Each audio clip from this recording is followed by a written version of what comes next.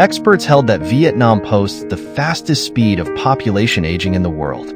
Those aged 60 and over accounted for 11.9% of the total population in 2019, and by 2050, this figure is forecast to rise to over 25%. By 2038, the country will enter the aged population period, transitioning from an aging to an aged society. Statistics show that in 2023, Vietnam had a population of around 100.3 million, including more than 16 million elderly people.